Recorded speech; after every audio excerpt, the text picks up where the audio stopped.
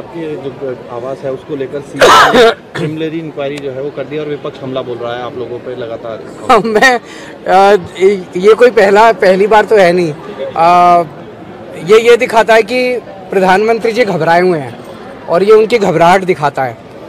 ये पहली इंक्वायरी तो है नहीं अभी तक 50 से ज़्यादा इंक्वायरी करा चुके हैं। कभी कहते हैं कि शराब घोटाला हो गया कभी कहते हैं कि केजरीवाल ने बस घोटाला कर दिया कभी कहते हैं कि केजरीवाल ने स्कूल घोटाला कर दिया।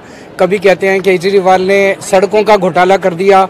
इन्होंने तैतीस से ज़्यादा मेरे ऊपर केस करे और इन्होंने सारी छानबीन कर ली, सारी जाँच कर ली। पिछले आठ साल से जब मैं दिल्ली का मुख्यमंत्री बना हूँ, जब से, तब से ये जाँच ही जाँच किए जा रहे हैं।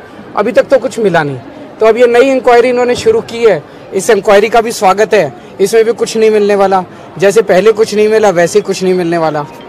तो एक चौथी पास राजा से आप और उम्मीद भी क्या कर सकते हो? 24 घंटे केवल और केवल इंक्वायरी इंक्वायरी का गेम करते रहते हैं, या केवल भाषणबाजी करते रहते हैं, और काम तो कुछ करते नहीं है। ये लोग ये चाहते हैं कि मैं इनके सामने झुक जाऊँ। ये लोग चाहते हैं कि ये मेरे को तोड़ दें। वो नहीं होने वाला। केजरीवाल झुकने वाला नहीं है। ये फर्जी इंक्वायरी जितनी मर्ज़ी इंक्वायरी कर ले, जितनी मर्ज़ी केस कर ले, मैं झुकने वाला नहीं हूँ। लेकिन हाँ आज मैं चौथी पास राजा को एक चैलेंज देना चाहता हूँ जैसे पिछली इंक्वायरियों में कुछ नहीं निकला, अगर इस इंक्वायरी में भी कुछ नहीं निकलेगा तो क्या आप इस्तीफा दोगे झूठी इंक्वायरियाँ कराने के जुर्म में?